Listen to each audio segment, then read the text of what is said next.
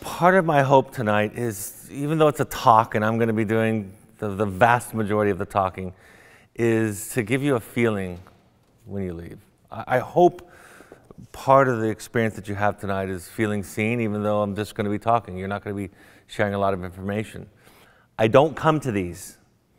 I don't come to these to teach you things that you don't know. I don't teach, I don't write to teach you things that you don't know.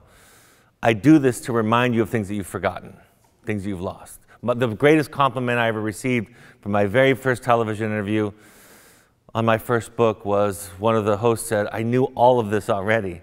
I just didn't have the words for it. And that's really what the process has been like for me in psychotherapy. Really, this work comes from my own psychotherapy. I, I teach this all the time to our therapists, and this is going to be the theme tonight. I teach this idea that there's no great therapist, I've never met a great therapist who doesn't do their own work. The kind of work that I do, the kind of teaching that I do, isn't based on my academic training. It's not based on my degree and the books that I've read, my professors. It's not from that place. It's from, honestly, the humble place of being the one on the other side of the couch, being the one in, in psychotherapy. Carl Jung has a, a very famous saying that he uses, and he says, to understand somebody else's darkness, you need to understand your own. And I think when I, when I think about the topic tonight of raising resi- resilient children, I think about that idea of knowing them because you know yourself. I, I, I tell this to the therapists I train the lantern that I use is fueled by my self knowledge, by my work. And, and, and by the way, I want to be clear that's not some high and mighty idea of who I am. The work is not realizing how great you are, how wonderful you are, how gifted and beautiful and smart and talented you are. The work is realizing your own darkness, your own what's driving your behaviors, what's driving your reactions. So that's my goal tonight is to give you that, that sense that you're okay. I really want you to have that, that sense that even if you have a struggling child, that you're not off track, that it's an invitation to a larger life. Those of us who have struggling children, and I've, I've had struggling children, I have a struggling child right now. Those of us who have them, we know that it, it breaks us and, and we bleed in the process, emotionally, spiritually. And I believe that their struggle doesn't happen by coincidence about the time that we're going through midlife. I believe it is, is it's part of our wake up call, part of our invitation to a bigger life. When I was in graduate school, I really struggled to finish my dissertation. It took me a long time after I finished my coursework. I, was, I had started my career and people were hiring me. In fact, I'd started Evoke before I finished my PhD because I just couldn't find the motivation and the structure to do it. And I had this wonderful, amazing professor who wouldn't guide me, wouldn't direct me. She just kept saying, Whatever you want to do, I'm here to support you. She, she was treating me like I was a grown up and I was still a child at 30 years of, of age. I ended up switching to another professor who would tell me what to do. I needed that at that point and he gave me his research.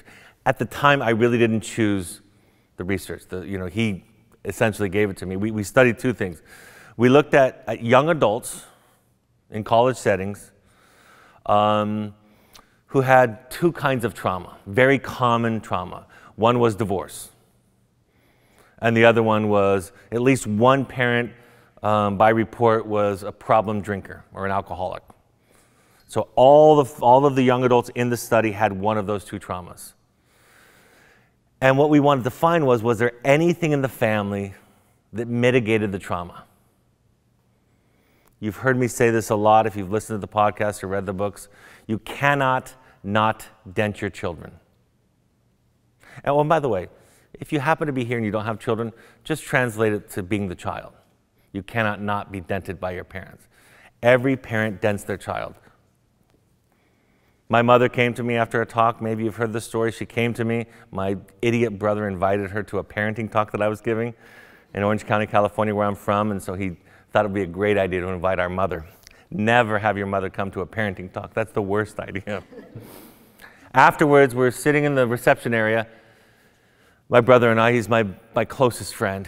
And uh, he hasn't done a lot of therapy work. Um, he just kind of gets by anxiously. My mother walks up to the two of us and she says, um, I think I should start feeling, I tried to talk fast enough. I really did. She's got a brain injury, and I thought if I talk fast enough, which I do anyway, I could lose her. But she grasped some of it. And she said, I, I think that I should feel badly for some of the ways I treated you boys growing up. And I said to her, I can't control how you feel. If you want to feel bad about it, that's your thing to figure out. But it could be helpful if you knew what you did wrong, if you knew the mistakes that you made. That would be really nice, especially, I thought, for my brother who hasn't been in psychotherapy. Be a really great gift to give to, to him, to be able to acknowledge and name the, the ways that you hurt him.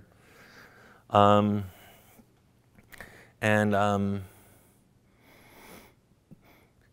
the, I said to her, the shame that you feel, the guilt that you feel, that, that idea that you need to feel bad about it, that actually, not only will it not help and serve us in really any real capacity, but it will block you from knowing yourself. That's really what I'm talking about all the time is the shame and the guilt of being human, being fallible, being imperfect. So back to the study. We're looking at a very common set of, of, of experiences that lots of children have, divorce and, and, alcohol, and, and problem drinking in the family. We're looking at what we're looking at what might mitigate that, what might lessen that. The outcome variable was if they re reported stable relationships in adulthood, if they had romantic relationships that they found rewarding uh, and contributing to the quality of their life.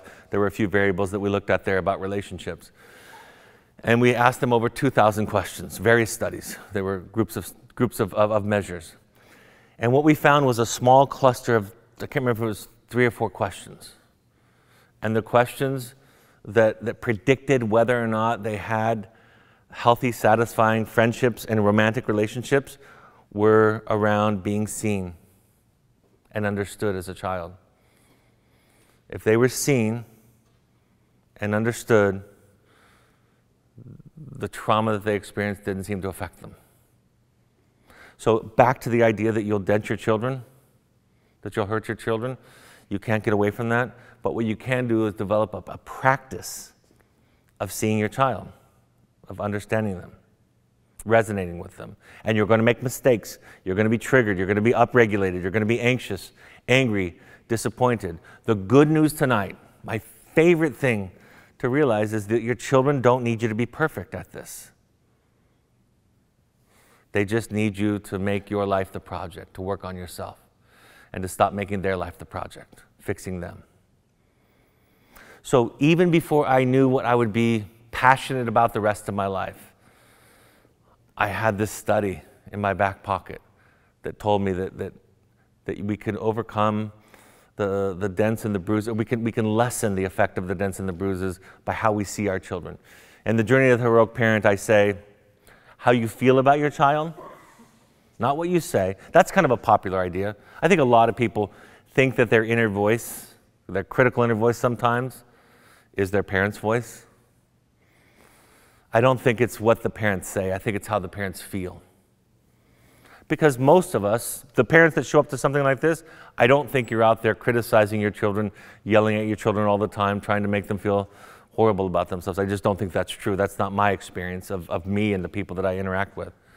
Um, but how you feel and think about them. Because a child, simply put, experiences worry in a parent as something's wrong with me. So, what you might think, and sometimes we say, is love, you know, our worry and our anxiety for the child's well being and safety. And our children, and I can say this for me as a child, I gave my mother plenty to worry about. It wasn't like she was fantasizing about my behaviors.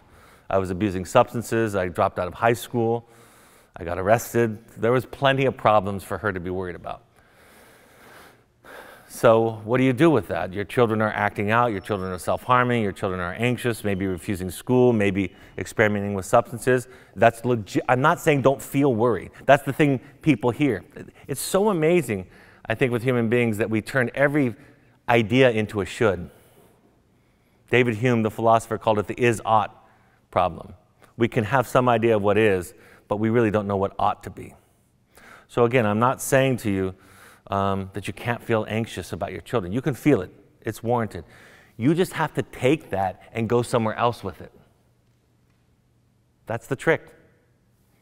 If your child's struggling, Maybe they have a learning difference. Maybe they have some social issues. One of my children's on the spectrum. My transgender child's on the spectrum. And that causes distress and confusion in me because it's hard for me to relate to somebody on the spectrum. Of course, naturally, it's a, it's a fundamentally different way of thinking and processing in the world. So I, I struggle with the connection at times. But I have to go to psychotherapy to work on that. So I take my anxiety, my frustration, my anger, my disappointment, and I go to my therapist and I give it to her. I hand it off. I love this quote by Thich Nhat Hanh, where he said that, that to love somebody is to provide a space for them where they can empty out their heart, to listen well enough that somebody can empty out their heart. So I go on Fridays at 11 a.m. and I empty out my heart. And by the way, if you listen to my session, you wouldn't have come tonight. you wouldn't be here if you listened to my session because I don't sound very enlightened, right? I was telling a group this morning, um, a few weeks ago, my wife was out of town, dropping my son off at college.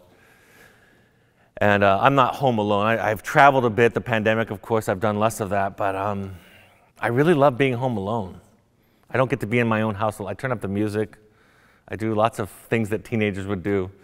Um, I don't make the bed ever. I leave dishes. I'll get to them eventually. Nobody's coming over. So I do my therapy session on Friday. She's gone. And I found myself, I didn't plan my session, I found myself in the session complaining about her for, for 45 minutes, just venting about how frustrated and exhausting she is. You know, our, our parenting styles were clashing.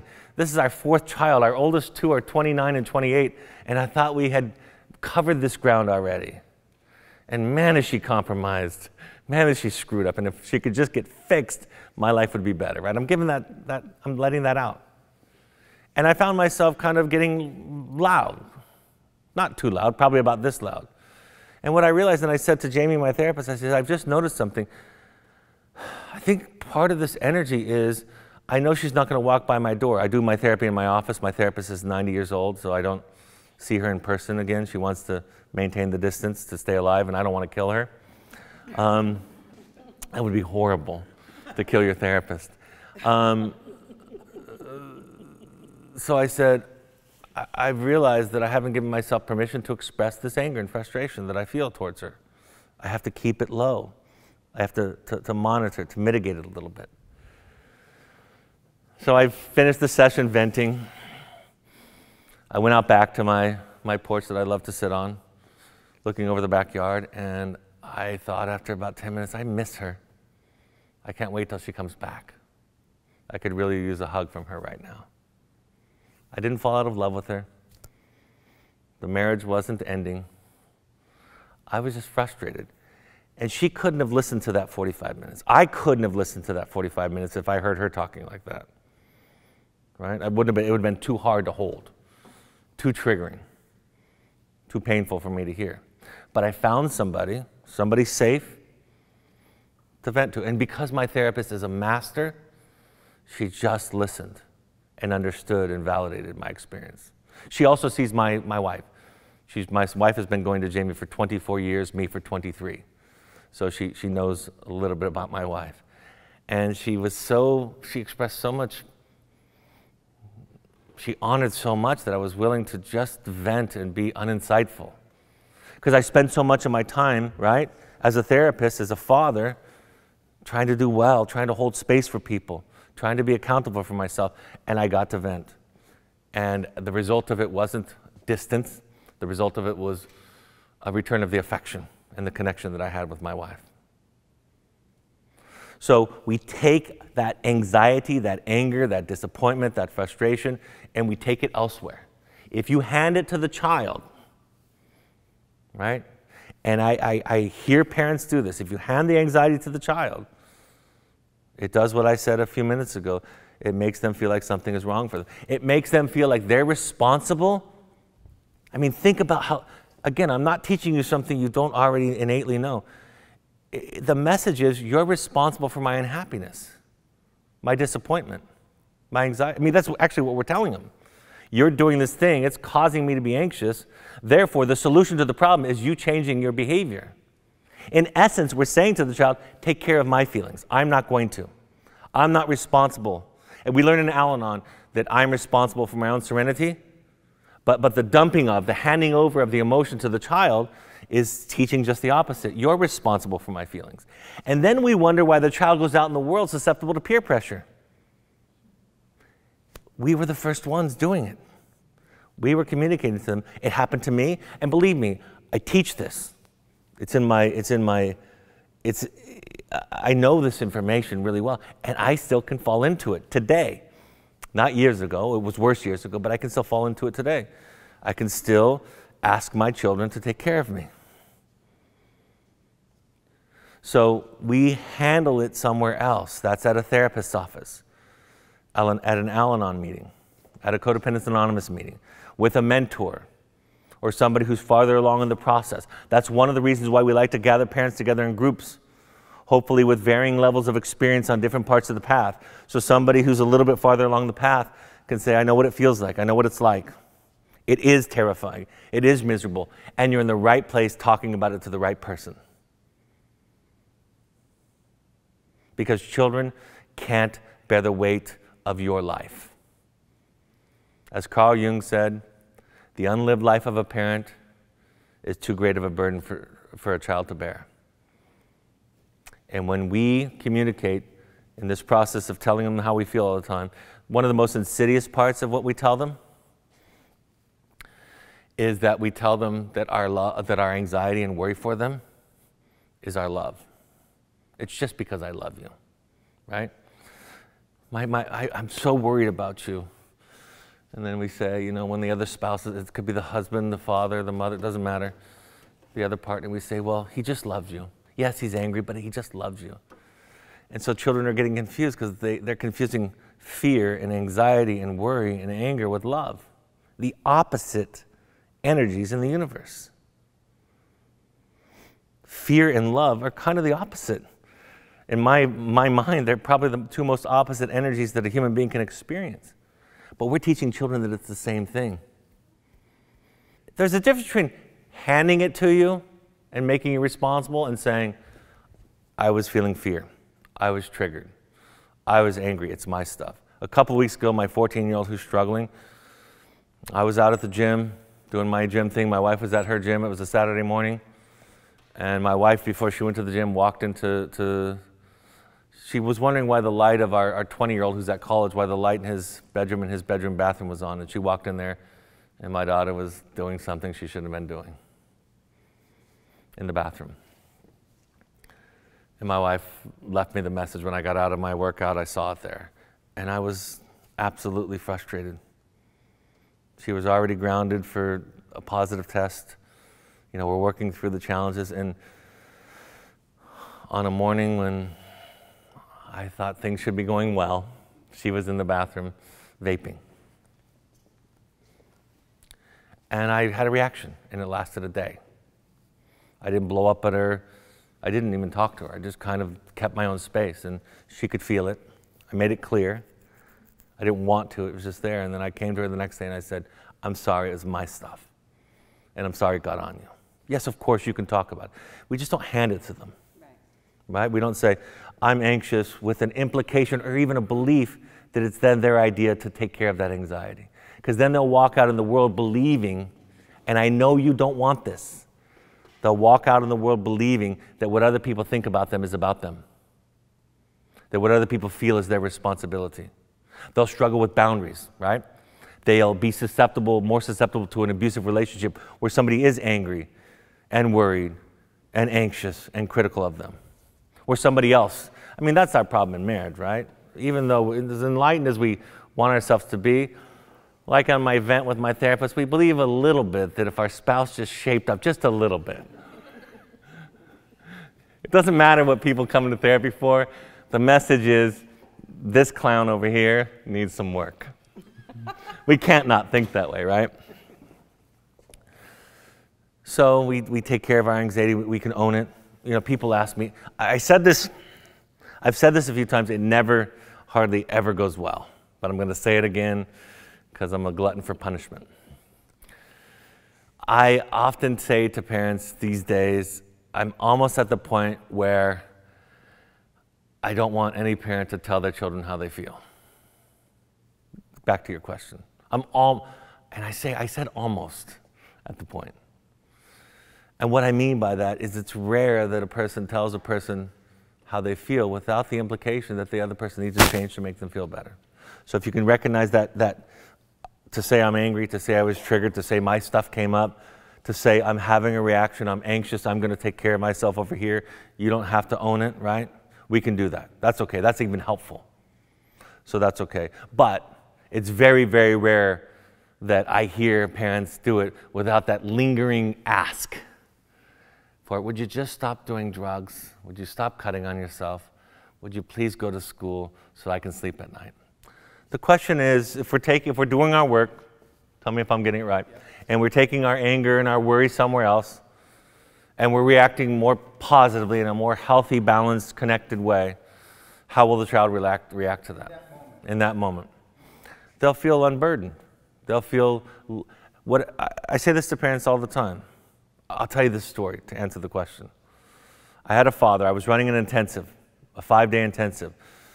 This father was there in, in, in the um, context of having a child, a young adult daughter who's struggling with depression and substance use.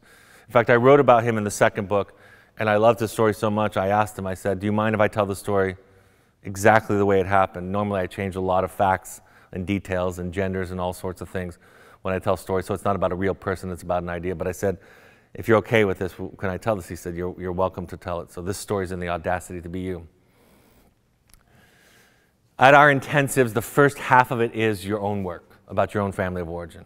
I don't care what you've come there for, because you're having a midlife crisis, because you're thinking about switching careers, because you're having problems with your parents, because you're having problems with your child, whatever it is, we look at family of origin with the idea that that's where the answers, the problems, the issues that you're carrying around are. And we go back there to heal and work and unravel those.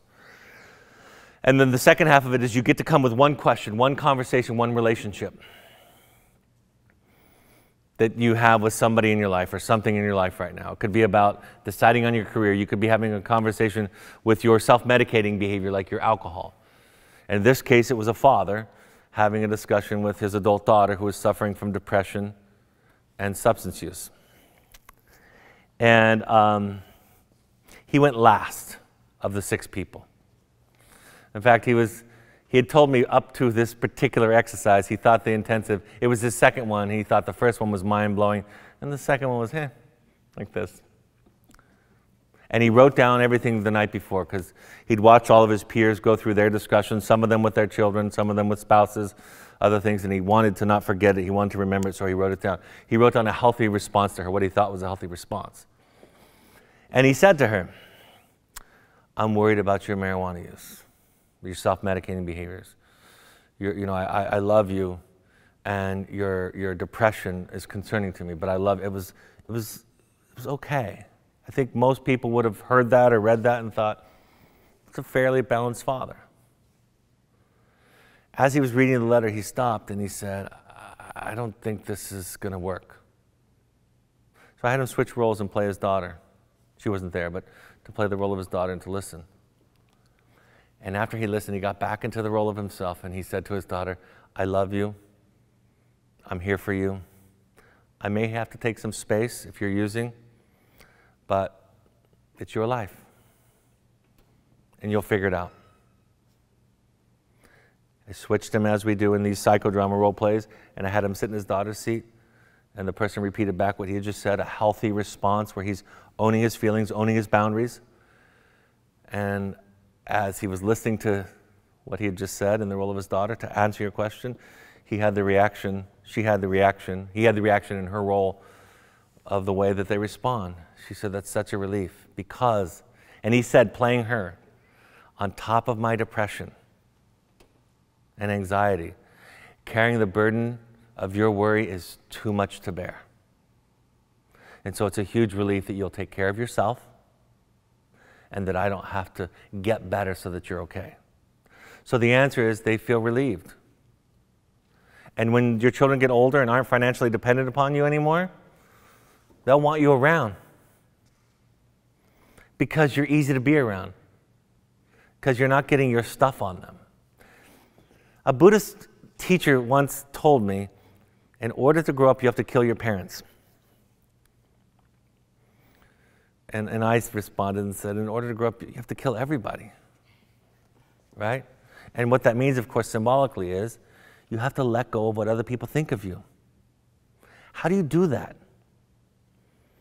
I mean, the, the question I get asked, even in my own sessions with my own clients, they'll ask me, I understand what it means. I'm starting to hear after a while, after a year, they'll say, of listening to you and doing psychotherapy. I'm starting to hear what it looks like when somebody grows up and becomes an adult and takes care of their own life. When a parent differentiates, individuates, and becomes responsible for themselves instead of making the children, you know, that adage of you're only as happy as your least happy child? That's insane. And it's posited in our cultures like it's an ideal. It doesn't feel like an ideal to the child when your entire life and happiness is dependent upon how they're doing. You can, you can hear that. You can, you can feel that in your bodies. If you're responsible for your mother and father's happiness, the people who, in most cases, love you clearly more than anybody else on the planet, and if you're responsible for their distress and they're upset, something's wrong with you. You're hurting the person who loves and sacrifices the most for you. Something's wrong with you. That's the burden. That's the disease. That really is. I can't overstate this enough. The Drama of the Gifted Child by Alice Miller, if you've heard me at all, you've heard me reference it. It's the most important book written, in my opinion, on children that's ever been written. And the drama of the gifted child isn't talking about bright, smart children, academically gifted, intellectually gifted children. The gifted child is the child who can sense what the parent needs and gives that to the parent at the cost of their authentic self. And that is the fundamental disease that I treat in therapy every day, no matter what the presenting symptom is.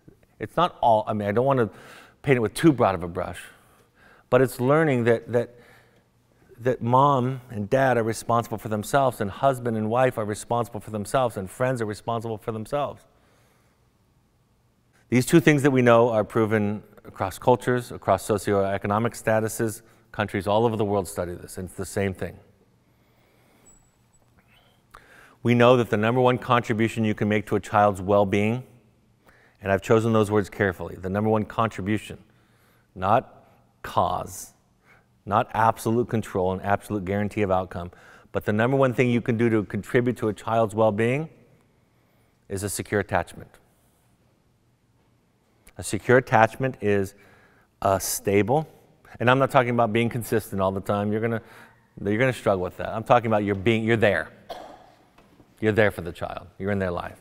A stable, welcoming, what the child is bringing, especially their inner world of feelings, is of interest to you. A welcoming and um, a person who's secure in themselves, who doesn't need the child to take care of them. A secure attachment means I can be there for you. My role, if you're my daughter, is to be there for you, not vice versa.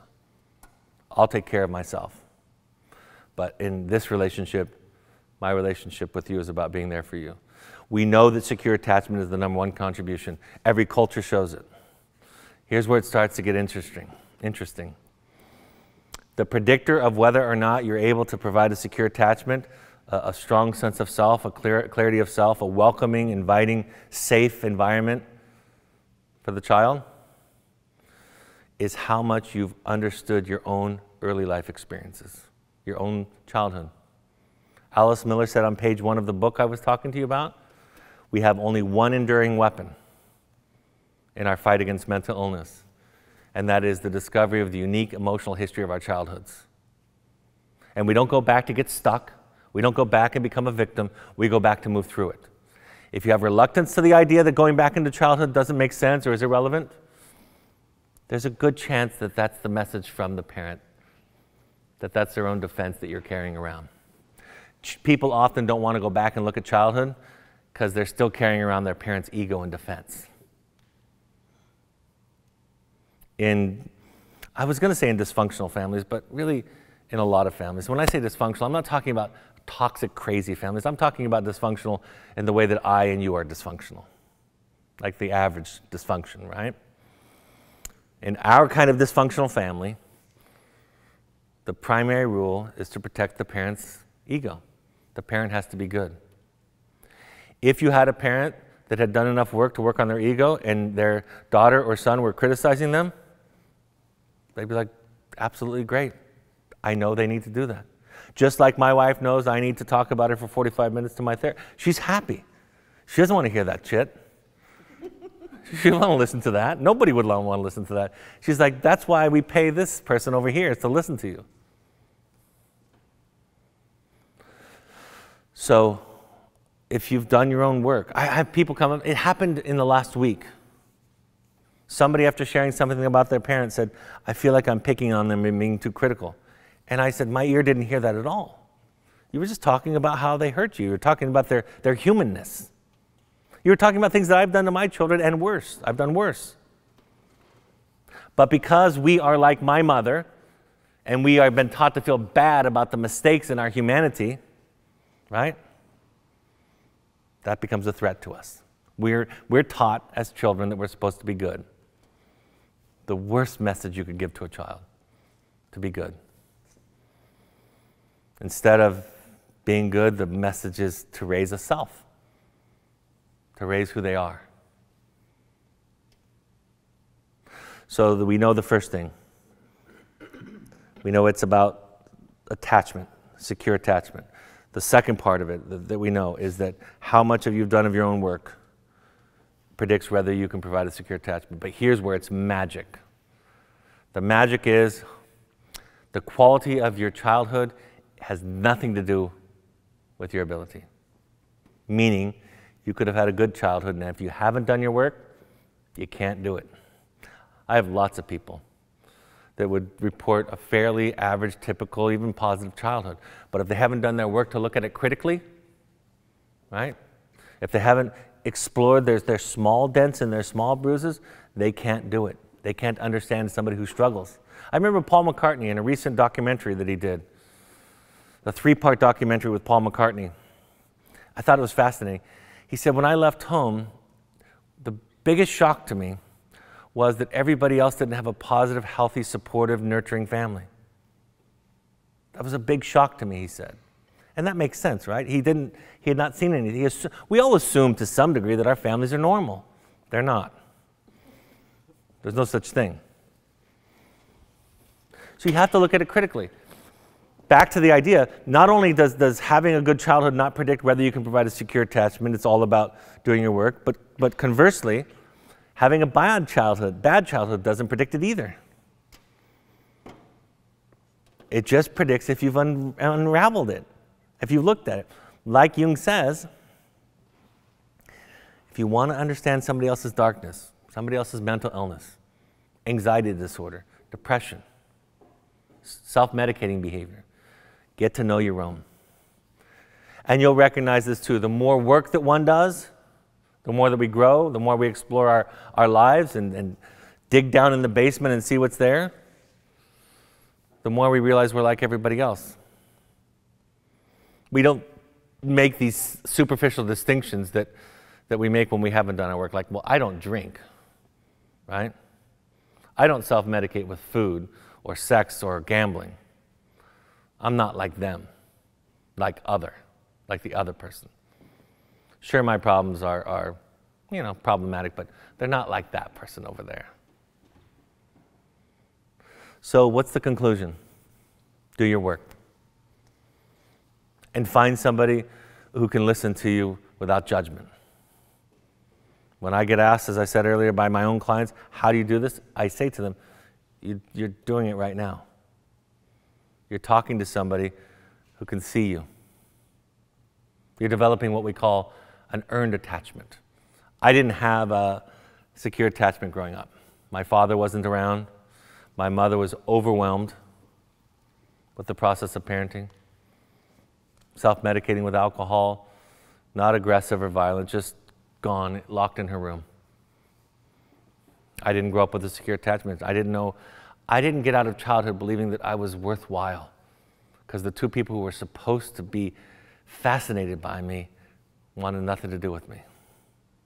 So I spent the next 20 years, 25 years of my life trying to prove to everybody that I was worthwhile, that I was cool and smart and clever, right? That I had these wonderful gifts to give to people.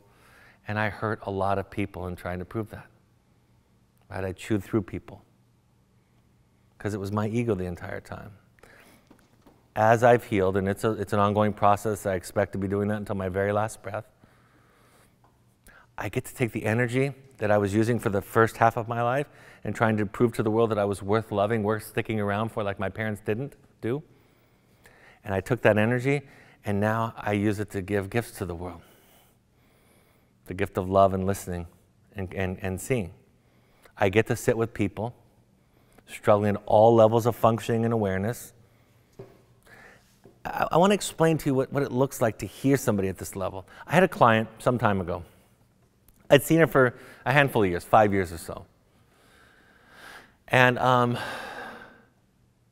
at one, she really worked hard. She, she, she did her work outside of therapy. She came to therapy and listened. She, she shared. And at one particular, I mean, she, she had these really compassionate but difficult conversations with her mother. She was an adult with her own two children. She had this very difficult but compassionate conversations with her mother and about how her mother was impacting her in some of the ways that I'm describing to you today. And she's sharing all this wisdom. She's had great discussions with her husband around some boundaries. And I was just like, this is amazing. Like to get to watch this part of it is really, really, you know, it's joyful to get to watch this. And then she concluded with some stupid thing, some uninsightful thing that sounded like the old her. And I was like, huh, she doesn't get it, I thought. So I come to my therapist. And I'm like, my therapist, I do supervision with her too and I told the story, all this amazing growth, and then this one thing that kind of showed me that she was back at the beginning in a way. What do I do? And she said, Well, here's what I would say to her. I would say to her, That's amazing. All those things you did. That tough conversation with your mother and your husband, good job. And then I figured it out. Right? Just notice it. Just hear it. She'll figure the other, the other thing out. That's the process. Carl, Carl Rogers said that it's only when we are accepted that we can change. That until I accept myself, I cannot change.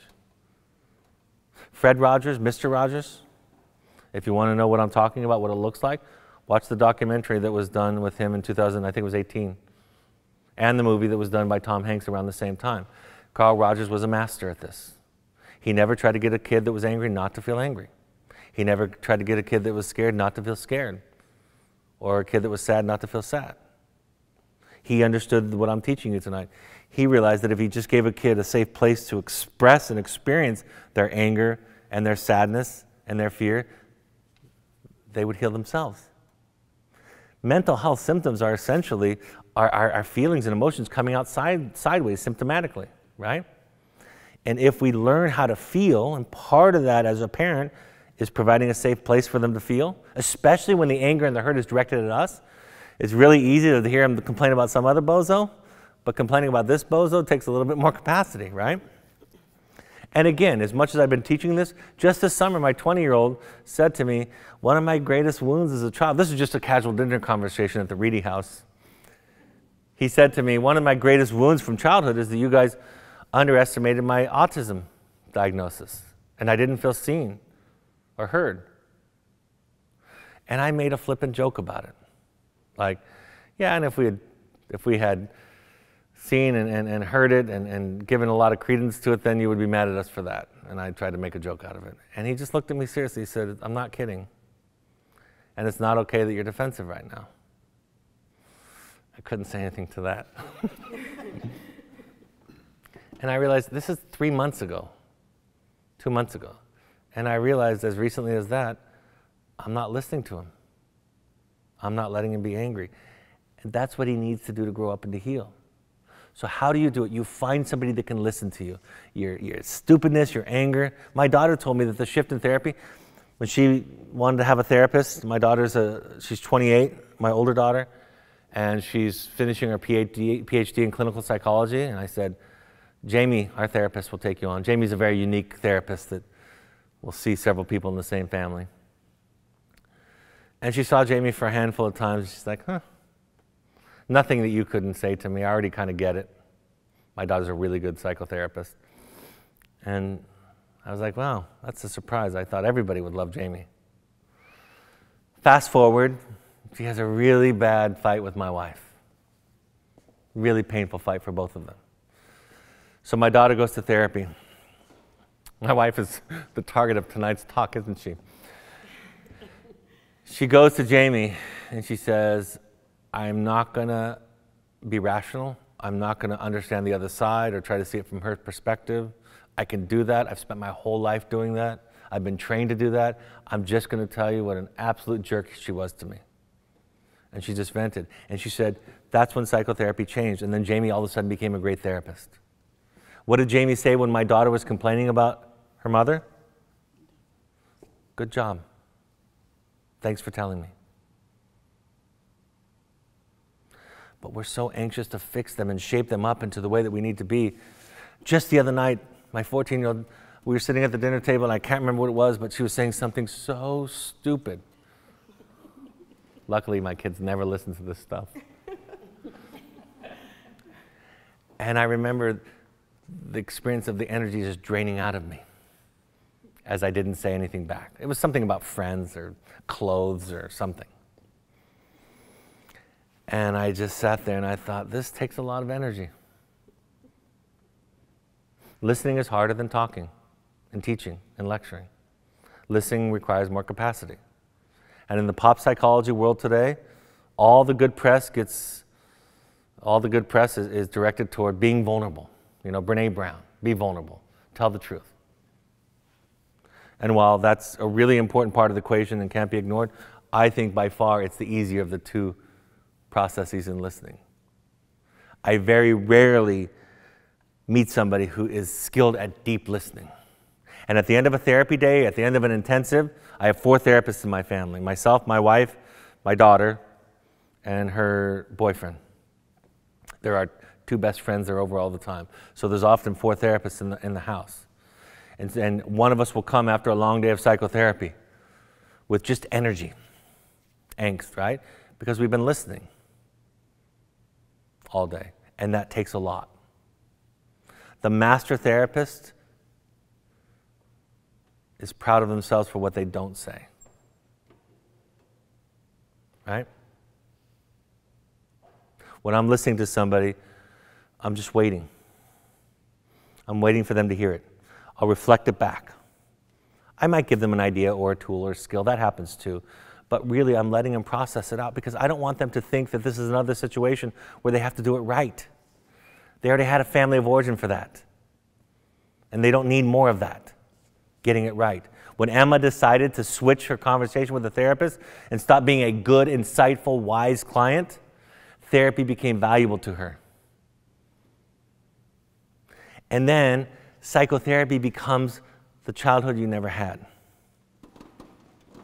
And the therapist becomes, becomes the parent that you never had.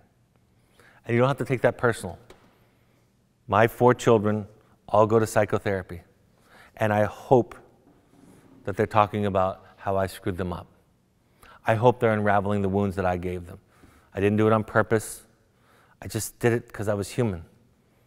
I have two older children, 28 and 29, two younger children, 20 and 14. And after the first two, I'm like, okay, I'm resetting. I got a whole new plan, whole new game plan. I know what I did wrong with these two. I'm going to do it differently with these two. And I did. And I created a whole new set of problems. and I have this belief that I was going to do it again. I'm not going to do it again. But if I was going to do it again, I would find a new way to screw them up, right? Because that's life. You're always growing, you're always imperfect. So tonight's talk is about just being human. And when you're human, your kids can be human. When you can be wrong and admit fault, your kids can be wrong and admit fault. People, one of the main complaints that parents will make about children is, I just want them to be accountable. Well, why don't you start being accountable? Get on a regular basis apologizing when you make a mistake if that's your your struggle. Hey, I think I dent you in this way. I think I took my anger out on you yesterday or last night or this morning or, or five minutes ago.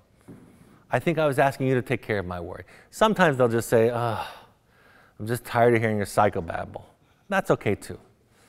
It's not the words, it's an energy, it's a way of being with somebody. In psychotherapy, I believe that, that the outcome is a, is a transformation that's fundamental.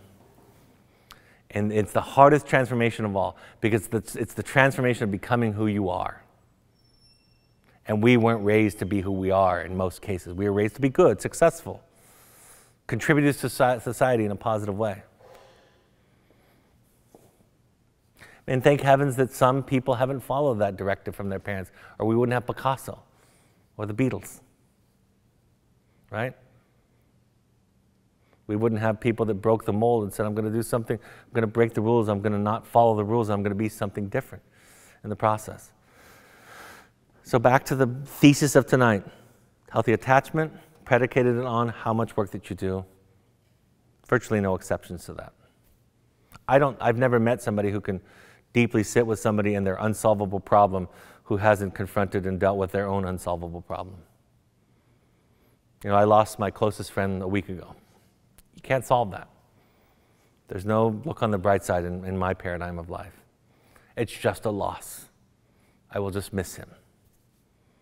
And I need people that I can tell that to who will just listen to it and not give me some speech about he's in a better place or he's, he experienced a lot of pain for a lot of years and he's, that's gone now. I'm, I'm great. I'm glad he's not in pain. But there's a hole in my life that he used to occupy and he's gone. And I just need somebody to sit with me. And that's really hard to do.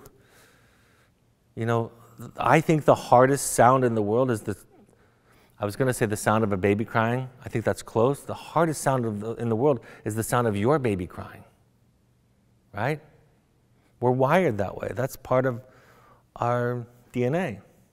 Our child is in distress, we're to comfort them. So to sit with a child, my daughter finally found a therapist that she likes just this last go around. This is about her fifth therapist that she's tried. And I, I, I take that as a compliment to our family that she couldn't find a good therapist, frankly. And um, she said to us, this is the night before the dumb thing. She said, um, I really like Danielle.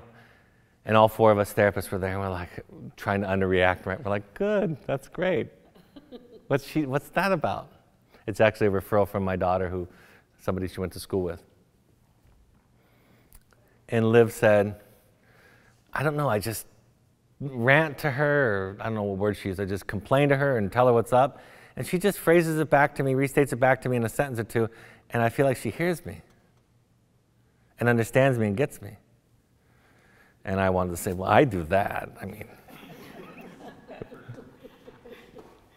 I didn't. And my daughter said, my older daughter said to my younger daughter, that's fantastic. I'm so glad you found her. So that's how you do the work.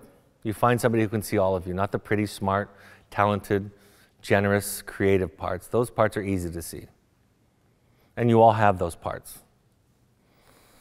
It's finding somebody who can see your horrible, rotten self and be okay with it.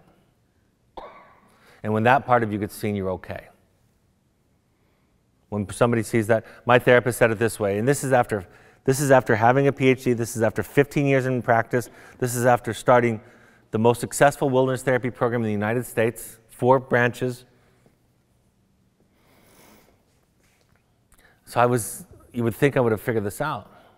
I'm in therapy, this is around 2011, 12 and I'm stumbling in a session to, to confess something. Therapy is kind of like confession.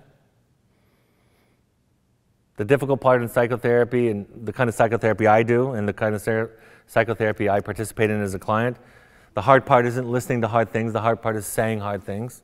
So I'm confessing some buffoonery of mine. Can't even remember what it was, it all blends together. And uh, as I'm stumbling in shame to admit this issue, my therapist says, I don't think you understand what's going on here, Brad. She said, if you came in here telling me that you were having sex with a chicken, I would assume you had a good reason, and I would just want to understand why. she didn't say sex. She said the F word, but I, it's on tape. Got my attention. And I realized in that moment, I've never been in a room like this in my life. I know my wife wouldn't react to chicken sex that way. I know my mother wouldn't react to chicken sex that way, right? But this person sitting across me just wants to understand. And then I understood in a deeper way than I ever had before what psychotherapy was. I can tell my story to a non judgmental, non anxious person, a person not trying to fix me, who can just see me and understand me, and I will fix and heal myself in that process. I'll be able to unravel it myself. The chicken sex will just go away naturally. Thich Nhat Hanh said the same thing about alcohol, the Buddhist monk, the teacher, very prolific writer and teacher, died about a year and a half ago, I think. He said, I don't teach people to stop drinking, I teach them mindfulness. And, and alcohol is the opposite of mindfulness. It's an attempt to not be present in your life, right? He says, and when you learn mindfulness, you stop drinking. When you have a practice of mindfulness, drinking becomes distasteful for you. Mindfulness is a great idea. It's the practice of being with yourself, which is what I'm talking about tonight. But I want to be clear. If you've thought this or said this, I understand it. I thought it, and I said it when I was younger also. The idea that self esteem is an inside job is not true. It is not true and never has been. That's not the way that human beings develop. Human beings don't develop in a vacuum. In fact, in Nazi Germany, we found out what happens when they develop in a vacuum, when they put all these babies in all these rooms without caregivers and human contact. Loads of them were dying, especially those that were farther away from the hallway because they had less contact with human beings and they developed failure to thrive. They just gave up life. You need human connection or you don't make it. And the deeper your human connection, the more okayness you feel, and you carry around a copy of yourself. Today, I carry around a copy of Jamie Gill. When I'm struggled or threatened, if I can, if I can, and sometimes I can't, sometimes I just react like everybody does. But in the moments I can pause and tune in, I think of the chicken sex story and I think, I'm okay. I'm okay. And then I can respond from a place of capacity to the people that I love and the people that I'm serving professionally. So you find somebody who can listen, you find somebody who can hear your story, and you just spend as much time for as long as you can around them. I've been in therapy with Jamie Gill for 23 years, I've probably about 10 years off and on with various therapists before that. Forced to go when I was eight years old because I was a problem early. Um, and I'm still going to go. And I don't go because I'm in crisis. I mean, the 14 year old is, I say I don't go in crisis, it's, it's brewing, it's bubbling. But I was going before that, and I'll go after that. I don't go because I'm trying to figure out her. I go that I'm trying, you know, that's my one hour a week where I can't get it wrong. That same client I told you that had all the wisdom and then the one thing that was not so wise, English is her second language. You can barely tell. She speaks with a, with a very, very subtle accent. And she was talking about in social situations, especially of a professional nature, she gets anxious. And although she can speak very well, she loses vocabulary, niche vocabulary of specific things in business, right? She just doesn't have the vocabulary sometimes. And then she, when she gets anxious and starts to stumble over vocabulary, she starts to, she says, just kind of rant incoherently. And she's describing this anxious experience that all of us can imagine and relate to, right? And I said to her, Do you ever feel that way in therapy with me? Because I didn't sense it from her. And just as a matter of in passing, she said, Oh, no, I don't feel that way in here because I can't get it wrong here. I can't get it wrong here. And I thought, that's the goal, right? It's a great paradox that acceptance facilitates change. Carl Rogers said, When we are seen, our eyes fill with tears, and we have the experience of, Oh, there I am. And we thank God for, for that. So that's the work to expand your capacity, to embrace paradox. So many people are attracted to dogma and certainty in this world because it's supposed to reduce anxiety, right? The work of growing up and becoming an adult is to embrace paradox and uncertainty and mystery, to not know. Nobody has this shit figured out. And those who do have it figured out know that they don't have it figured out. You, you remain a student until your last day, and you're always learning. And I've said this this week a couple of times because it came up with my, my, my staff that, that work for me. I said, when you realize that the child is your teacher, come here to teach you, and you are the student, everything changes. You're not the teacher, they are. And they're here to just what they do, just to promote your expansion, getting larger. I want to go back to something. It's very important. I kind of skip over it and take it for granted. I've said it a few times, but I, I want to emphasize it a little bit. I'll tell you the story that, that highlighted it for me. I was in New York running a parent group one night before the pandemic, and I was teaching about expansion and listening to children and you know, holding compassionate space for people and things I'm talking to you about tonight. And two of the mothers in the group, it was about 40 people, at the exact same moment, using similar words, said, So I'm just supposed to be a doormat? And I thought, that's a really, that's a big miss on my part. This is not being a doormat. You have to be a self. Anxious parenting is not loving a child too much, it's not enough self. Codependency, if you know what that is, the, the kind of blending of identities with your children or with somebody else, feeling responsible for how they feel and vice versa. That's not too much love. There's no such thing as too much love. That's like saying you're too healthy. You'll never go to the doctor and says, everything looks really too good. I think we have a problem here. There's no such thing as too good. So you, you've, you've, you're not a doormat. You're not without self. You're, you're a self. And let me illustrate it with this idea. I'll use the Dalai Lama because he's a public figure we all know about.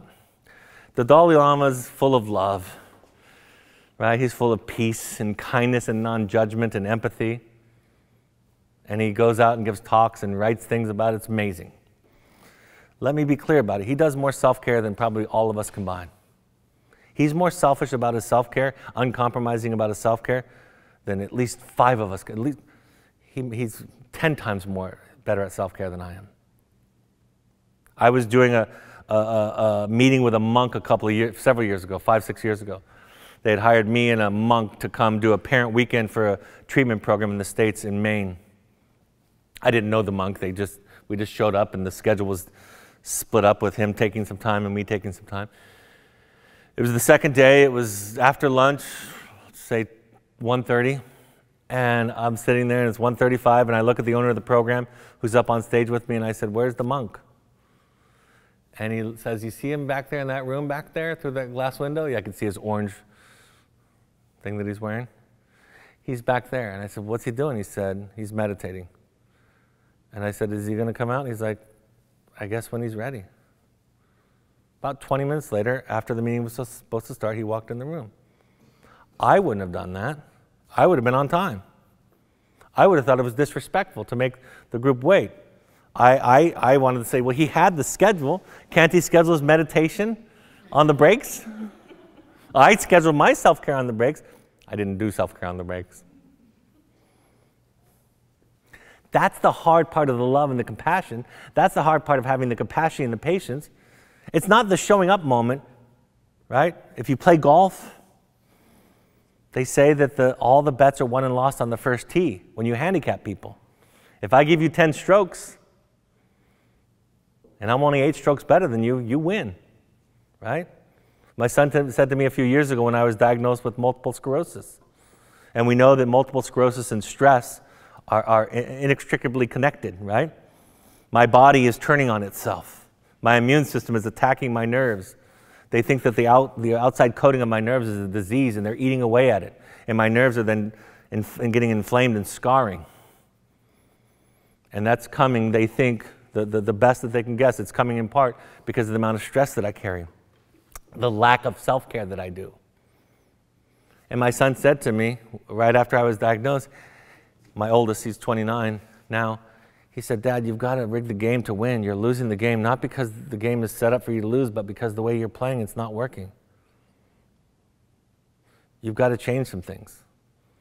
You've got to learn to say no to people. You've got to learn to let people down. You've got to learn to disappoint people. That's what enlightenment is, by the way. The monk in the back, he was letting us all down. That's the hard work. When you get into recovery for codependence and you start to grow and expand, you do this weird thing where you start to tell the people the truth about your boundaries. You don't say, Well, my kid's sick, or I've got a headache. You say, I need to stay home tonight. Sorry to cancel. You tell the truth because you've made peace with your horrible, rotten self. You're not at war with who you are. You're not thinking that what you feel and what you need is a burden or a problem for somebody else, and that you need to deny it to take care of them. And guess where we learned that? And it wasn't their fault. Their parents did it to them. And it wasn't our grandparents' fault because their parents did it to them. It's just what happens. My mother was overwhelmed. Her inability to parent was because of her the damage that she experienced as a child, which I heard a lot about, as a matter of fact. And instead of owning that inadequacy and that, that, that limitation and making that her project, she did what, a lot of us do, and she made the kid the project. She made the kid the problem. I was the identified patient. I carried her wounds. She told me, You're an SOB. I thought that was the worst insult a mother could ever give to a son, by the way. you know? She called me a little shit when I was a kid. I remember being at the grocery store when I was, I had to be, had to be before, um, well, it was probably about third or fourth grade. And I remember her saying to the cashier in front of me, I should be able to park in the handicap stall because I have him. Sounds really bad. It is really bad. She thought she was making small talk.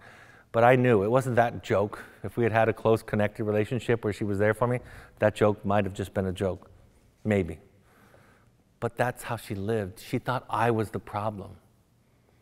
I want to give you the news tonight. Your unhappiness is because of the way that you're living your life. It's not your child. And I have children that I love, and I know when my children hurt, I feel empathic pain from that. I know that. And it's my job to go out and take care of myself. If you have a child that's struggling with mental health or addiction, you need more than the average parent. Some children require more. My, my, my um, autism spectrum kid, I couldn't parent him the way that I parented my second born, who was a people pleaser, right? The people pleaser was easy. It's going to be hard a little bit later for her. She knows that. She'll say that to you. She'll say, I made adolescence easy, but it's, you know, the, the problem is yet to come. So they're different, right? You have to, if you have a child that's struggling, I don't really care about, you know, I, I'll use a dramatic ex- uh, story to, to, to support the idea you shared. A few years ago, my publisher came to me and said, I want you to work with this father whose son is a mass shooter. Killed a bunch of people in Santa Barbara. You might remember the story, California. Shot a bunch of girls because he was frustrated they didn't want to have sex with him. Went out and shot a bunch of them. Shot himself at the end. So he was dead. And the dad was writing a book and the, my publisher said, The dad, you need to help him with this book. And so I read the manuscript. I don't know if I've ever told this, I haven't told this story very, I don't usually tell the story, um, but it's, it's a good one for this, this principle. When I read the manuscript the first time through, I highlighted 93 examples of, of inadequate parenting, I'll call it, that he was positing as good parenting. One I remember, his son, who had a lot of anxiety. They had just bought him a new bike, and they were leaving this, the store, the Kmart or the Walmart or whatever it was. And he dropped the bike because he saw some friends from school and he was embarrassed. And his dad got furious for him dropping the bike and told him to not care what those boys think. That was an example of dad's good parenting. And there were several stories like this. So I have to sit here with this father. We spent a couple of days. And I have to go over the mistakes that he made in the context of his son turning out to be a mass shooter. That was a hard couple of days.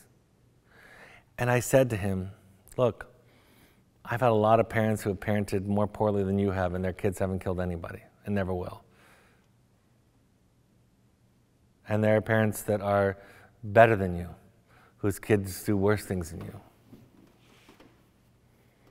It's not about this direct cause and effect, but your son required something that you didn't know that he required, and I don't blame you. We, there was nothing you could have known, and I'm really, really sorry.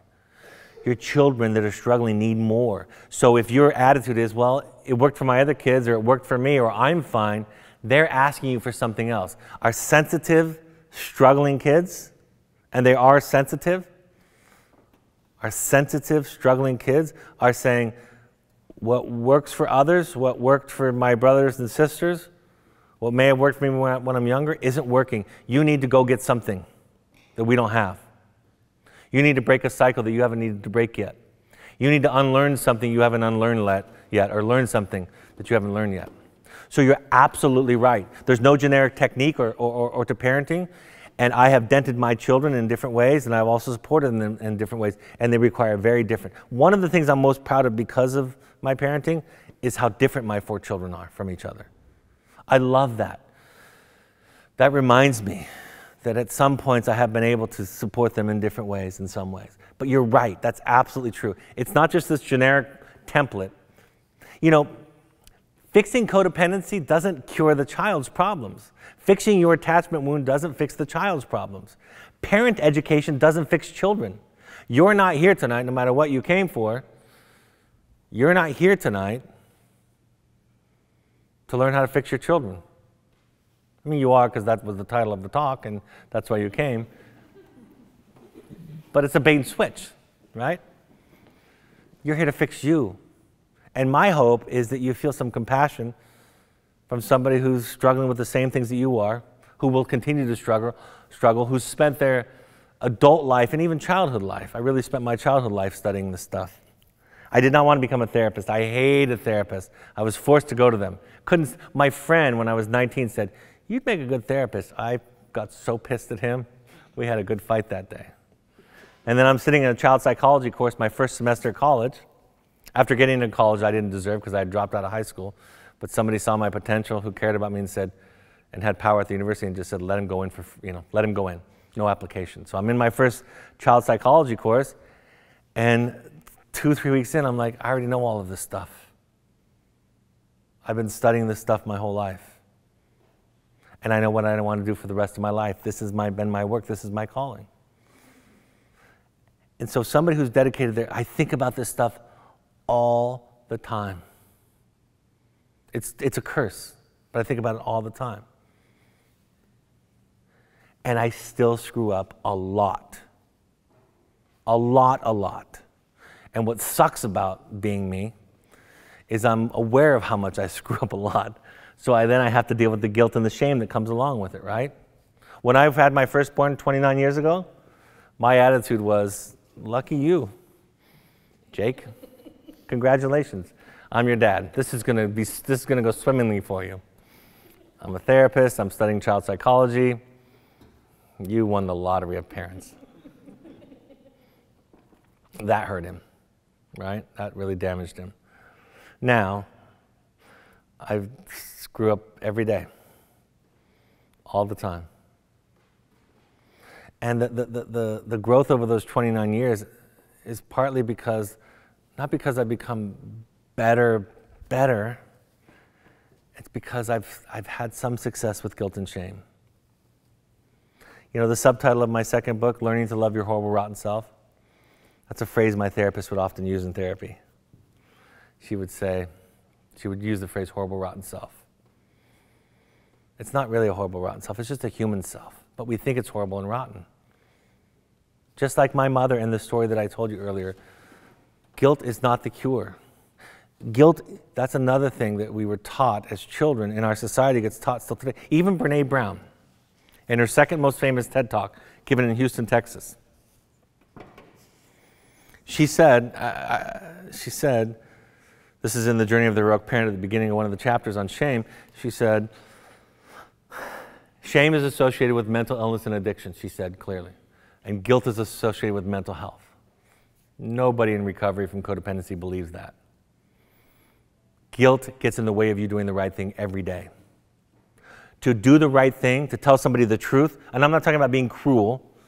If you and I are friends and I have to break plans with you, or I don't want to go out and I have to say no, or I can't help you and I have to say no to take care of myself, I have to wait back in the room, right? I have to overcome some guilt. I have to tolerate guilt, you see. So, guilt in this case is telling me to do the wrong thing. So, so, so my progress, whatever it is, whatever, whatever that measure is of my progress, has been around guilt and shame. Guilt and shame is what I'm working on in therapy, what I'm working to get rid of. I also learned that you don't, as a person, you, your therapist can't take it away. I remember 2013 ish. I had something in therapy that I told my therapist, something about my wife that was bothering me, or a feeling that I had, or something that needed to be said. I felt needed to be said. And I go to therapy and I tell her, and she's like, That's great. That seems normal. That's healthy. That's a fine feeling to have. That's a fine request to make. And after an hour, I'm like, Yeah, I'm okay. This isn't crazy. I'm not a jerk. I'm just Brad. I'm, I can say this. And I leave the session with a hop in my step.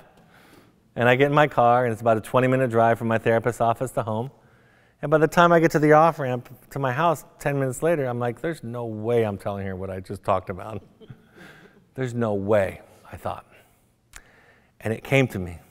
You're going to have to do it scared. You're going to have to do it guilty. You're going to have to do the right thing and feel the guilt anyway.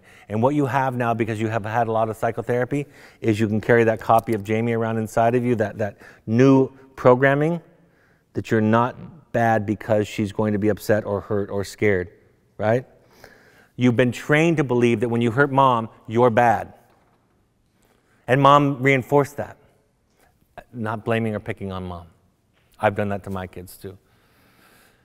But I had enough overriding of the old programming to be able to say what I needed to say when I got home. And I went home and I'm shaking and I love my wife and I'm scared and I'm thinking she's going to freak out and lash out at me. And I tell her my thing, and she's like, Glad you told me. Worked out okay. Could have gone badly, though. So we go to a place to be reminded that we're okay.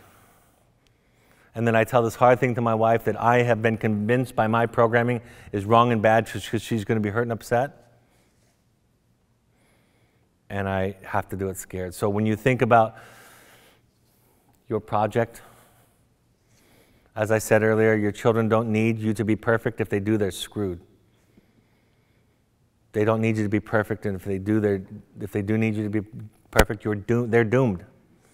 They just need you to stop making them the project and to make you the project. And that's such a burden lifted. Like that man that I described to you at the intensive, when he said to his daughter, I'll take care of myself. I know you're struggling. I'll be there for you if you need me, but I'll be over here when he played and sat in her seat, he could feel the burden.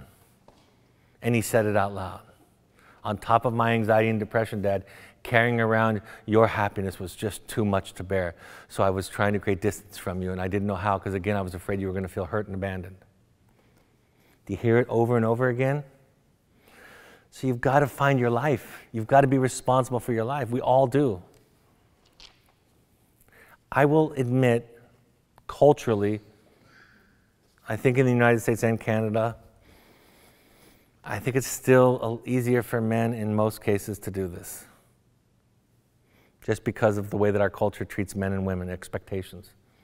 Women are the, you know, we, we all know this. Women that work are expected to still be full time mothers. And, you know, we come home and we're like, I'm going to watch a game tonight.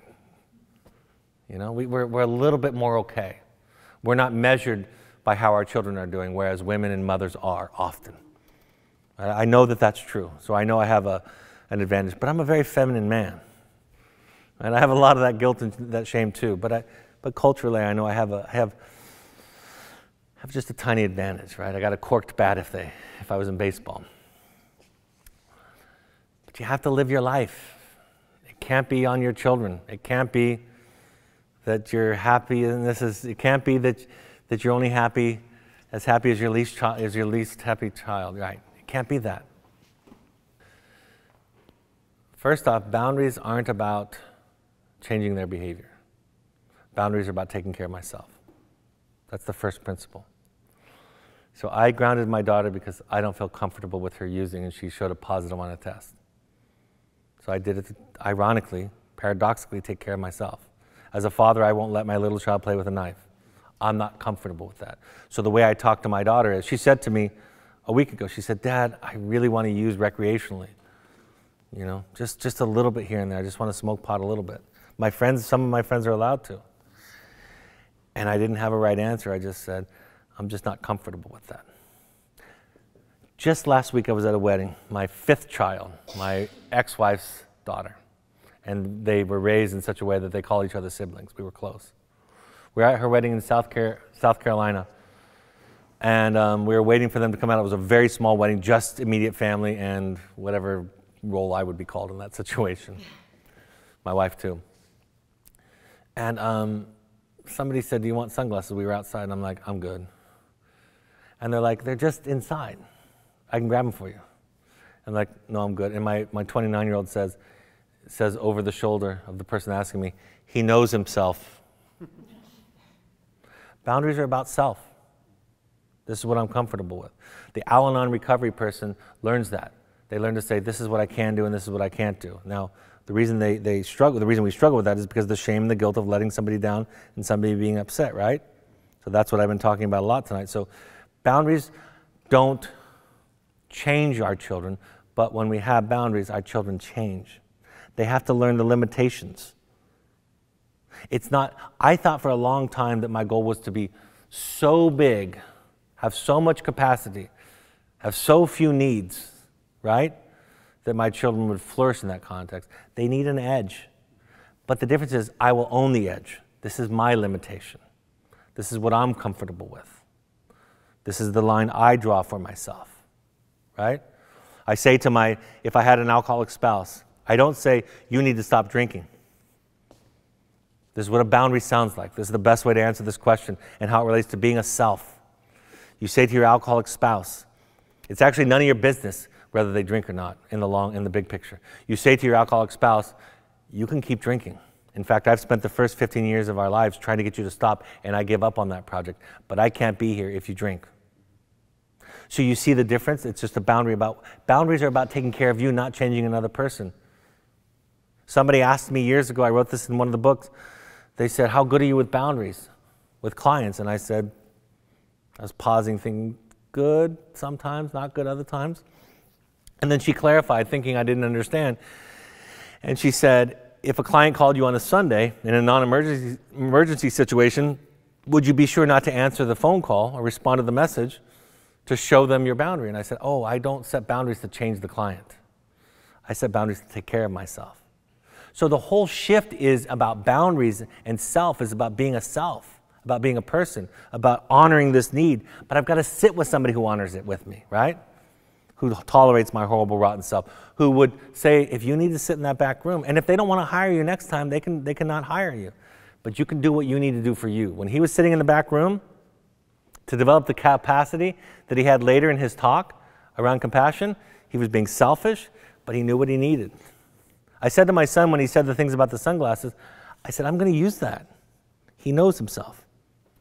So the boundary is about, and I, I do practice this, I'm practicing it. I try to show my wife. I say, it's okay to say no, it's okay to not be everything, it's okay. I know your guilt as a mother because the family you grew up tells you you're supposed to give everything away, that you're supposed to be a doormat, but you're allowed to be selfish. You're allowed to take care of yourself. And they can get mad. The cool thing when you start taking care of yourself, what I found, is that the people around you, change, that you lose some, and then you get some new ones. And the new people are like, when you cancel last minute, they're like, I'm glad you're taking care of yourself. The old friends are like, come on, we made the plans, come on, do it. It's just you're not negotiating anymore. So boundaries are about self. Boundaries are the line. I love my favorite quote about boundaries. Our boundary is the distance between you and I, which I can love you and me simultaneously. And a lot of times my anger and resentment is because I'm expecting you, my son, my friend, my partner, to take care of me, and I'm resentful. But that's usually a signal that I'm not taking good care of myself. I'm not setting a boundary. So, again, same thing. You've got to work on the guilt and the shame that tells you what you should be, what you should do. You know, midlife crisis, if you've gone through one or seen somebody gone through one, you might even have a parent who went through one. It's messy and crazy. You know, people get selfish. They seemingly divorce their spouses out of the blue, and it looks crazy because it is. Because they're trying to find themselves. They're acting like a child because they skipped that part. Because they've lived somebody else's life for 40 years. Right? So the job is about being a self, and boundaries come out of that. I don't think about boundaries I don't think about my boundaries with you about teaching you something. I think of my boundaries about what I need. And I'm not saying I'm good. I, I don't, I'm not saying I'm good at it, but that's the thought. And when, I, when I'm not good at boundaries, when I struggle with being a self, I'm supposed, I've been advertising this intensive that I have to go to for a, a year, that I'm going to be running it in mid October. And my friend who passed away, they just set his funeral on the day that I'm supposed to be doing this event. And I was talking to my colleague over here at dinner. I'm like, I'm struggling with knowing what I need and knowing what I'm okay with. I said, I think Peter would be okay with me working. I think he knows that I loved him. And I know that he loved me. And I'm struggling with me. Like, what am I? I'm going to call my wife later and say, hey, I just want to hear your thoughts on it. I'm trying to find myself, and I don't know what my boundary is. Do I let down his sister, Kristen, who I also care about, and his parents? Do I take care of myself? Am I over prioritizing work because I have this internalized capitalism that I'm struggling with? You know, I have to figure out who I am, and then my boundary will come out of that place. That's why I don't like teaching about what to do with boundaries because it has to come from the authentic self, right? It has to come from you. Sometimes we learn from the outside in, but often it goes in the, in the inside out.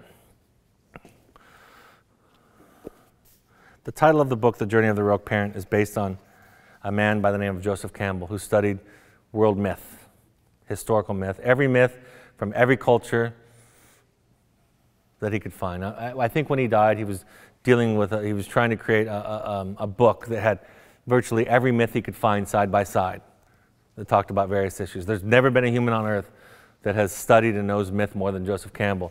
And what he developed was this idea that, that the myths are telling one basic story. He called that story the hero's journey and that the, it's about the, the transformation into becoming your authentic self. I remember when I was a kid and I saw the movie Rocky. We were, you know, probably 10, 12 years old when it came out. I remember having a fight on the playground with my friends about whether or not if Rocky won, because we, were, we, we didn't have the same idea about whether he won. You can't hear it at the end of the show because he's yelling Adrian and they're announcing Apollo Creed wins and you're not really hearing it, right? And I'll tell you why that is. Because the heroic journey is you go after this thing, the Knights of the Round Table went after the Grail. And, and not insignificantly, they went after the Grail and they thought it most honorable to go into the forest where there was no path, each of them, where there was no path. Because if there was a path, it was somebody else's path. So they went into the forest to look for the Grail. And they did it for years and they never found it. But they came back with stories of adventure to tell. They came back with the story of their life.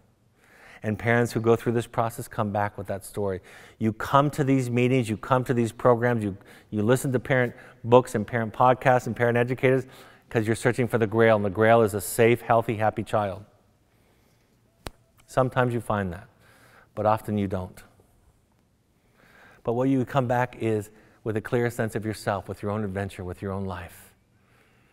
And then you share that story with other people who are farther behind you. That's the hero's journey. And the reason why I believe that they didn't emphasize who won in the first show, Rocky, because they knew this. They knew that, that, that the gold wasn't that Rocky won or lost the fight. He lost, by the way, if you don't know. I was wrong, actually, on my childhood fight. I was the but he won in a different way, right? He found love. He found himself. That's the hero's journey, and it's over and over. You watch Frozen, the child's cartoon, little girl with magic that screws everything up and gets punished because of her gifts. So she goes and hides away in an ice castle until the whole village kingdom is now in trouble, and then they go find her and bring her back, and she takes that gift back and she saves the, the community. That's the heroic journey. You bring back your gift. So that's what this is about. It's about the fact that parent education is not about changing children, it's about changing parents. And that healthy parenting does not produce well behaved children, it produces parents who have peace and serenity and clarity. That the outcome of healthy parenting is a better lived life. That's what it's about. And I conclude the book with this. In the epic story of Gilgamesh, perhaps one of the oldest surviving works of literature, speaks to every parent's journey. In the ancient, ancient uh, Mesopotamian myth, Gilgamesh becomes distressed at the death of his friend Enkidu. Due to his suffering, Gilgamesh leaves his home and undertakes a long and perilous journey searching for the secret of eternal life. He endures many trials and tribulations on his quest. He swims to the bottom of the sea and retrieves the plant of immortality. When he resurfaces, he sets it down on the ground, and while he bathes, the serpent steals it, and the sacred plant of, of immortality is lost. Yet he travels home, and he has this story to tell. So, what does the hero find? On his journey, he finds the elixir of healing wisdom, something he can share with others. We experience deep pain and develop compassion as we face the depths of our own struggles. And what we find is our story. We sit in groups, tell our stories, and listen to the stories of others. That's the message of this book. That's what I meant when I started off by saying the question is not the question. It's our struggling children and our willingness to ask different questions that reveal our authentic selves. The hero brings back herself, a deeper, richer version of herself. Loving your child is something you cannot not do. You will break and bleed. Old things in you will die, and in their stead, new ones will grow. And what will you have at the end is your story. For me, even as a teacher, the elixir isn't always in the form of words. Some of what I have gleaned from my experience, from my journey, is difficult to put into words. That's because it's an experience, not an explanation. You learn something by going through it that you can't learn any other way. My education and my study have given me language, but being present on my painful and beautiful journey has carved out a place for more compassion toward myself and others. I'm honored to sit and offer some of the observations from the thousands of heroes' journeys that I've seen parents and children traverse. This is my story. This is my gift. This is also the gift that the remarkable, wonderful, struggling children and parents have given me and I in turn give it back to you. Thank you for coming tonight.